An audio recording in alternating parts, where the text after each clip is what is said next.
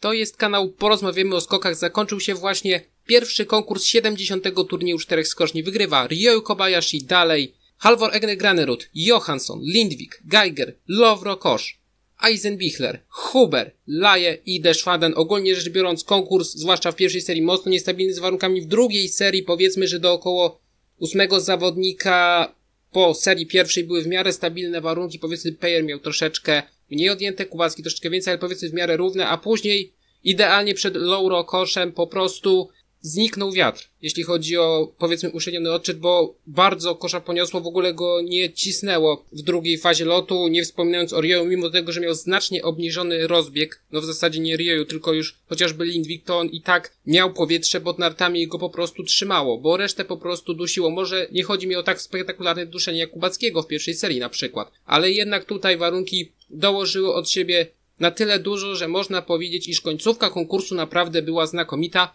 ale przy okazji można powiedzieć, że jest to pierwszy przypadek, który dobrze pamiętam, że rekord skoczni, która jest w Pucharze Świata regularnie, będzie pełnoletni. Kłopio było blisko, ale w 2016 roku rekord Harady został poprawiony przez Standę, a tutaj rekord Petersena przetrwa co najmniej do następnego roku. W każdym razie Rioju, 23 zwycięstwo w karierze, niesamowity wynik. Atak z piątej pozycji, ale też się ułożyło niesamowicie.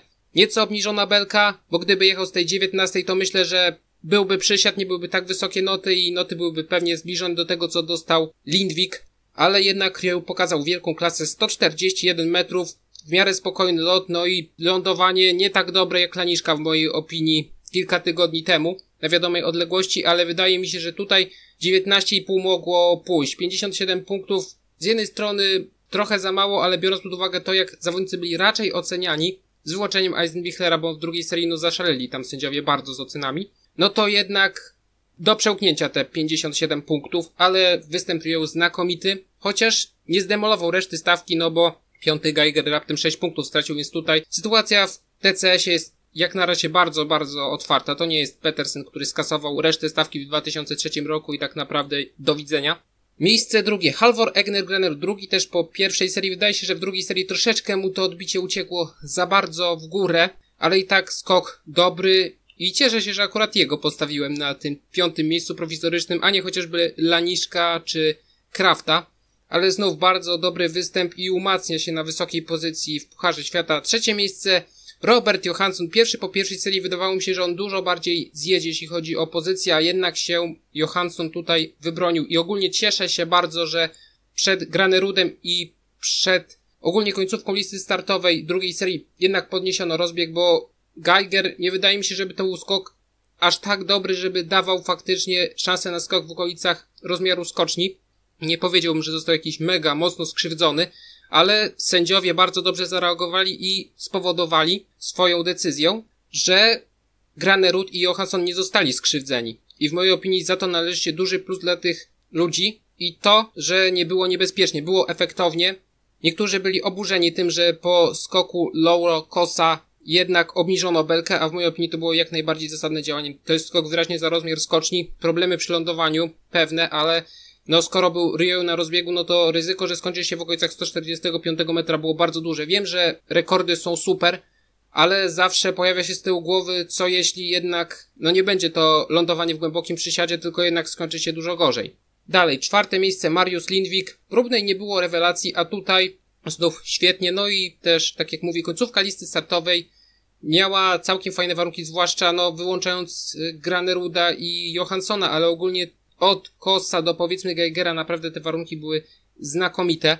I tutaj Lindwik mógł, no po prostu mógł tutaj wygrać. 5,7 punktu. Gdyby ta prawa narta mu nie uciekła, już mu się to zdarzało, chociażby rok temu w Zakopanym, że ta prawa narta mu uciekała i do głębokiego przysiadu, czy 49 punktów to nie jest zbyt surowe ocenienie tego skoku. Nie wiem, ale wydaje mi się, że to jest spokojnie do wybronienia. Piąte miejsce Karl Geiger, trzeci po pierwszej serii. Ktoś może powiedzieć, że niby za ciężkie warunki, ale 30 metry na sekundę z tyłu. Wydaje mi się, że tutaj stawianie Geigera jako ofiary jest troszeczkę zbyt mocne. Zresztą jestem przekonany, że zaraz znajdą się teorie spiskowe, że to jest tylko odwracanie uwagi przez Mikę Jukarę i ogólnie przez całą mafię, żeby pokazać, że Niemcy przecież też są krzywdzeni, prawda? Nic, że jest to najważniejszy moment tak naprawdę sezonu dla Niemców, jakby nie patrzeć, bo to jest turniej czterech skoczni. I ogólnie żal mi też Freunda bardzo, ale skoro jest ta dyskwalifikacja, a z tego co tłumaczył Mikael Karan, to troszeczkę trzeba to sobie zapracować, żeby jednak dostać tą dyskwalifikację. Szóste miejsce, Lauro Kos. Fantastyczny skok w drugiej serii. W pierwszej się niesamowicie wybronił. Jeżeli ten pomiar był prawidłowy, grubo ponad metr na sekundę i on skoczył wyraźnie za punkt K, no to musiał to być naprawdę genialny skok, być może nawet lepszy niż ten z drugiej serii. 139,5 metra i on próbował zrobić telemark, ale nie jest to chyba aż tak doświadczony zawodnik w tym momencie, żeby jednak się przeciwstawić tej sile od środkowej. Mam nadzieję, że tutaj niczego nie pomyliłem.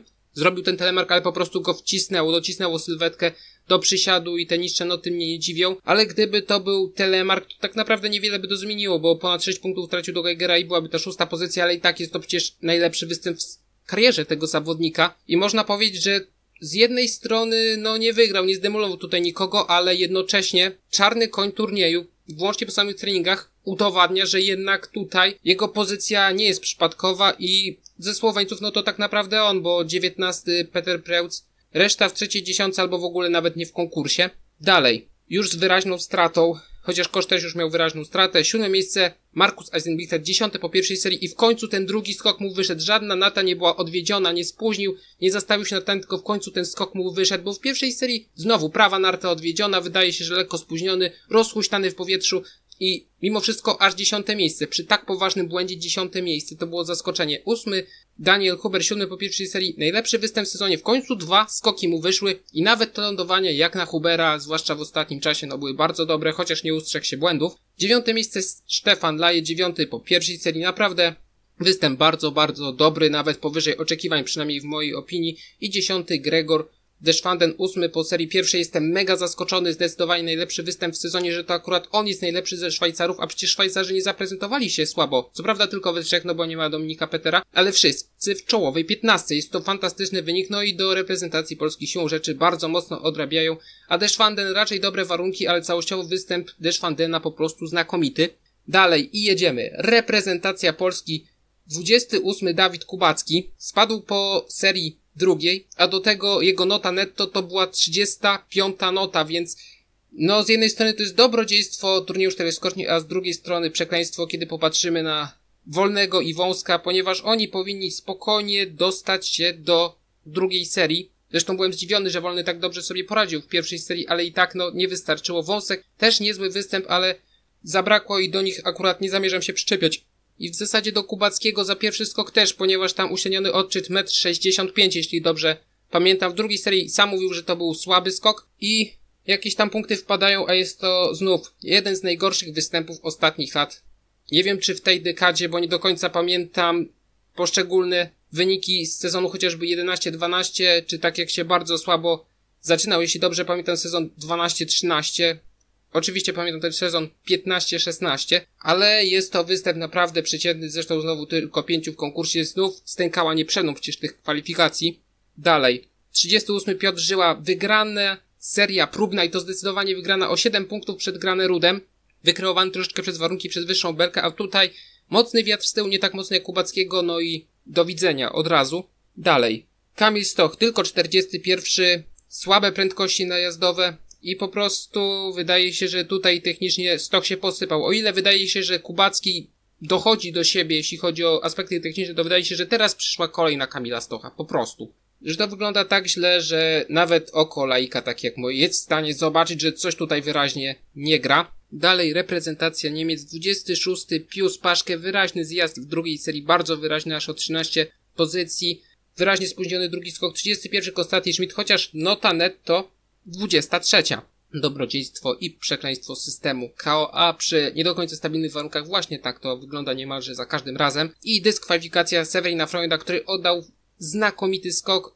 Byłaby to pierwsza dziesiątka, a tutaj dyskwalifikacja i innymi dzięki temu Roman Trofimow dostał się do drugiej serii. Dalej Norwegia, która przez fantastyczny występ już awansowała na drugie miejsce w Pucharze Narodów. Pamiętacie jak niedawno ciśnięto troszkę po Norwegii, że jest jej kryzys w cieniu kryzysu reprezentacji Polski, ona już, już jest na drugim miejscu w Pucharze Narodów. Oczywiście niezbyt zdecydowanie przed Austrią, ale jednak. No i można powiedzieć znów opady deszczu, a tutaj znów dobre prędkości i znów Norwegowie naprawdę brylują w końcu drugie, trzecie, czwarte miejsce. Poza tym Tande 18, 19 po serii pierwszej, no Pierwszy skok nie do końca wyszedł, ale i tak jest lepiej niż na treningach, bo na treningach było katastrofalnie momentami, a tutaj Tande no jednak wyratował się od nieszczęścia typu nieprzebnięcie do drugiej serii. 30 Forfang, teoretycznie 30, bo nota netto 45 zaledwie, no bo trafił na Zograwskiego, Zograwskiemu skok kompletnie nie wyszedł, a Forfang miał niewiele lepszy, ale właśnie system KO i z tego ostatniego miejsca nie był w stanie się wydostać. 37 miejsce Fredrik Winustad, no kolejny występ taki przyzwoity na czwartą dziesiątkę nic poza tym jeśli chodzi o Wilumstada. Dalej Austria, tylko 12, Stefan Kraft 17 po serii pierwszej, skoki dobre, ale czegoś tutaj brakuje, no i siłą rzeczy jest ponad 40 punktów straty do Rioju i ogólnie do podium, ponad 35, więc tutaj, jeżeli Kraft ma jeszcze się zmierzyć z Gapa, no to naprawdę szanse na podium u Krafta znacznie spadły, bo jeśli już, no to on zjeżdżał właśnie z Oberstdorfu do jakiegoś kiepskiego poziomu właśnie w Gapa. Jeśli tutaj w Gapa miałby jeszcze zjechać, najprawdopodobniej do, nie wiem, piątej dziesiątki na przykład, bo tutaj był lucky loserem, przegrał z Deschwandenem, co było mega zaskoczeniem, no to jednak mam poważne wątpliwości co do Krafta, czy dalej go uważać za kogoś dość mocnego w kontekście podium turnieju czterech skoczni. 17 Jan Hel, 26 po serii pierwszej występ, bardzo dobry, wyraźny awans w serii drugiej. Ja przepraszam, jeżeli pomylę pozycję z notą, ale no niezbyt dobrze to rozdzieliłem akurat. 21 miejsce Trzofenik, 17 nota pierwszej serii. Występ jak najbardziej w porządku. Bardzo ładnie trafiał w próg ten zawodnik, przynajmniej w mojej opinii. 22 Filip Aschenwald, 21 po serii pierwszej. To i tak wyglądało znacznie lepiej niż na treningach, niż w kwalifikacjach. I tak jest to pozytywne zaskoczenie. Mimo wszystko 35 Wolgenat, no znowu pech. Tym razem 30 nota netto, a i tak nie dostał się do drugiej serii. Po prostu, gdyby było w kwalifikacjach troszeczkę lepiej, no to z tym wynikiem spokojnie by się dostał, bo tak jak mówię, chociażby Forfang to byłaby połowa piątej dziesiątki. I 39 Manuel Fettner, no troszeczkę uratował Kubackiego i Fettner i pewnie też uśredniony odszedł, bo nie spodziewałem się, że Fettner akurat zostanie tutaj w pokonanym polu. Dalej Słowenia, poza Lauro Koszem, no to naprawdę jakiejś rewelacji nie bywały. Nie ma 19 Peter Preutz, wyraźny zjazd drugiej serii z miejsca 11. Laniszek 23 28 po pierwszej serii, ale nota netto 38. 27 cenę prawie 20 po serii pierwszej. No, mega spóźniony skok drugiej serii, tak naprawdę mocno spóźniony. O ile nie wiem, o Huberze mógłbym powiedzieć, że delikatnie spóźnił, o Geigerze w kwalifikacjach też delikatnie spóźnił, no to tutaj cenę naprawdę mocno spóźnił i to nie trzeba było jakiejś specjalnie dokładnej powtórki oglądać, bo to od razu było widać. Szkoda, że nie za każdym razem jest pokazywana ta powtórka, z boku skoczka, ale jednak no było to bardzo, bardzo widoczne, jeśli chodzi o cenę Preuca i 36 Giga Jeller. Występ w porządku, ale no gdyby było lepiej w kwalifikacjach, po prostu mógłby trafić na nieco słabszego przeciwnika i dostać się do konkursu, przepraszam, do drugiej serii. Japonia, 11 Junshiro, 11 po pierwszej serii, bardzo dobry występ Junshiro, dokładnie tak jak na treningach to wyglądało, to też wyglądało tak w konkursie. Nieprzypadkowo obstawiałem, że to on może pokonać Johanssona. No, Junshiro prezentował się świetnie, ale Johansson wygrał pierwszą serię. 16 miejsce Yuki Asato, 22 po serii pierwszej. No w końcu wyglądało to całkiem nieźle, chodzi o Yuki Asato, zwłaszcza w drugiej serii, ale cały czas no trudno powiedzieć tutaj o jakimś niebywałym przełamaniu, no bo nie jest to logiczna konsekwencja powiedzmy treningów, które wyglądały jakieś niesamowicie w wykonaniu Yuki, tylko po prostu być może odchył od normy albo rzeczywiście początek powrotu do formy z poprzedniego sezonu, sprzed dwóch sezonów. 20 miejsce Naoki Nakamura, 20 szósty, po serii pierwszej, przepraszam, 26. Nota, występ w porządku, taki dokładnie jakiego się spodziewałem, jeśli chodzi o Nakamurę. 34. Daiki Ito, 29. nota netto, jeśli dobrze pamiętam. No i nie dostał się do drugiej serii, ale to był jeden z tych zawodników, który skorzystał na nieco lepszych warunkach pod koniec serii, tak jak chociażby Boyd Klaus, tak jak właśnie Ito, zyskali na tym i wypchnęli chociażby Jakuba Wolnego z czołowej piątki. Dalej, 46 Keiji, no Keiji po prostu cały czas skacze w najlepszym przypadku na przełom czwartej i piątej dziesiątki i no nie widać tutaj jakiegoś specjalnego progresu, jeśli chodzi o tego zawodnika. Dalej Szwajcaria, tak jak mówiłem, Szwajcarzy się bardzo dobrze zaprezentowali. 13 Simon Aman, 15 po serii pierwszej, bardzo dobre skoki. Nie dziwią mnie dość rozbieżne noty, bo przy delikatnych telemarkach właśnie tak bywa. Jeszcze renoma Amana powoduje, że no te oceny są często zróżnicowane. No i najsłabszy z nich, Kilion Peje, 14, 15 po serii pierwszej. Jest to zaskoczenie i minus, bo na treningach to wyglądało lepiej. I no nie dziwię się, że był typowany. Sam go typowałem i to bardzo zdecydowanie na trzecie miejsce. A tutaj nie skreśliłbym go jeszcze, ale biorąc pod uwagę to, jak czołówka odjechała, to myślę, że tutaj będzie Payerowi bardzo ciężko, chociaż wydaje mi się, że on jest w takiej formie, że on jeszcze może tutaj powalczyć, jeszcze może. O ile co do Krafta mam duże wątpliwości, no to wydaje mi się, że Paye Oczywiście to wymaga tego, żeby przez następne trzy konkursy skakał znakomicie, ale wydaje mi się, że Peje jeszcze jest do tego zdolny. W tym konkretnym przypadku, bo jeśli w Gapa będzie to wyglądało podobnie, no to temat będzie można po prostu zakończyć i to specjalnie nie rozwlekając się nad czymkolwiek, ale jak na razie Pejera jeszcze nie skreślam, chociaż strata jest już bardzo, bardzo pokaźna. Dalej Rosja 15, Jewgenij Klimow, dwa przyzwoite skoki 14 po serii pierwszej, pokonał Żyłę, Mało kto się tego spodziewał, ale Żyła też nie oddawał najlepszych skoków, nie oddał najlepszego skoku, przepraszam, bo przecież w próbnej wygrał. 24 Roman Siergiewicz Trofiłow, 41 nota netto, 29 po serii pierwszej, czyli drugi na liście startowej, a on akurat to wykorzystał, że miał trochę lepsze warunki, bardzo fajne lądowanie, bardzo przyzwoity skok, no i dość wyraźny awans mimo wszystko, 29 na 24 pozycję i kolejne punkciki wpadają na jego konto. 40 Daniel Sadryjew, mówiłem, że Raczej bym się nie spodziewał, że on jednak położy się kolokwialnie rzecz ujmując przed Ipcioglu. Wyglądało w serii próbnej tak, że on się położył, ale Ipcioglu był jeszcze słabszy, a tutaj Ipcioglu, przepraszam, Ipciolą jednak dał radę, wykorzystał to, a Sadrejew miał tragiczne prędkości najazdowe i być może tutaj już był pies pogrzebany gdzieś w pozycji najazdowej, jeśli chodzi o Rosjanina. I 47 Ilja Mańkow no, występ takiego, jakiego pewnie wszyscy się akurat spodziewali. Finlandia z Estonią, no to tutaj 42 Aigro, znów koszący tor lotu, ale tutaj to nic nie pomogło. 43 Sacho, 44 Alto. Alto miał całkiem niezłe warunki, ogólnie rzecz ujmując, ale mimo to wydaje się, że troszeczkę Alto odżywa, nie jakoś bardzo zdecydowanie, ale jednak wydaje się, że to jest lepszy Alto niż na początku sezonu, bo na początku sezonu miał problem, żeby w ogóle przebnąć kwalifikacje, bo w początkowym etapie sezonu on je przebnął tylko raz. Dalej, Ameryka Północna to tylko Boyd Klaus. 25 miejsce, 19 po serii pierwszej. Występ jak najbardziej na miarę oczekiwań. Wiadomo, beneficjent warunków pod koniec pierwszej serii, ale jakieś tam punkty wpadają na konto Kanady, no i przynajmniej jest przed Turcją w Pucharze Narodów, czego nie można powiedzieć o paru innych reprezentacjach. I szeroko pojęta reszta świata i można powiedzieć, że to jest zdecydowanie historyczny moment. Ktoś powie, że zwycięstwo Rio jest ważniejsze, okay, zgadzam się, ale jednocześnie kiedy ostatni raz nowa reprezentacja zawitała do Pucharu Narodów, tak kompletnie od zera. Szczerze mówiąc sobie nie przypominam, kiedy było pierwszy raz, być może ostatni byli akurat Ukraińcy, ale tego też nie jestem pewien, musiałbym to sprawdzić. Ale 29 miejsce Arda Fatih Ibciolą. Jestem pod wrażeniem. W serii próbnej było przeciętnie, przegrałby z Sadrejewem, a tutaj jednak Sadrejew się nie popisał, ale reprezentant Turcji naprawdę dał radę. 31 nota netto, ale jednak zdecydowanie wygrał w parze, no i to jest naprawdę wielki dzień dla tureckich skoków. One przecież nie mają jakiejś niebywałej tradycji, one tak naprawdę mają tradycję, nie wiem czy tam nawet jest kilkanaście lat tradycji tak naprawdę.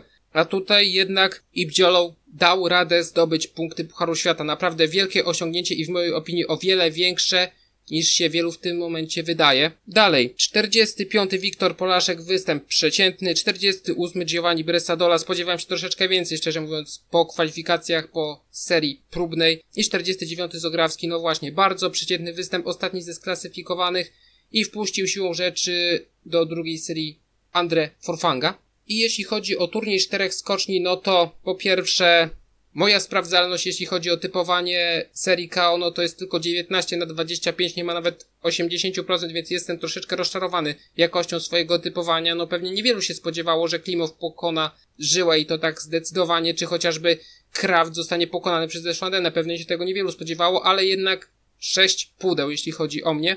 Jeśli chodzi o klasyfikację generalną, no to Rioju 302 punkty. Jeśli chodzi o straty, Halvor Egner Granerud 2,8, Johansson 3,4, Lindwik 5,7, Geiger 6,1, Lauro Kos 12,5, Eisenbichler 20,9, Huber 33, Laje 35,2, Deschwanden 39,4 i reszta ponad 40 punktów, więc szczerze mówiąc nie zamierzam rozwlekać się nad tematem reszty. Wiem, że pewnie powinienem poruszyć temat Kilion Peje, skoro tak bardzo w niego wierzę mimo wszystko, ale to jest też ponad 40 punktów i być może uderzę się w pierś i jednak po następnym konkursie zwrócę uwagę, jaka tam jest dokładnie strata, jeśli chodzi o Szwajcara, ale na ten moment, szczerze mówiąc, wydaje mi się, że jednak czołówka, pierwsze siedem pozycji jest już dość ładnie wykrystalizowana i tutaj najprawdopodobniej już mamy trzech zawodników, którzy staną na podium turnieju czterech skoczni.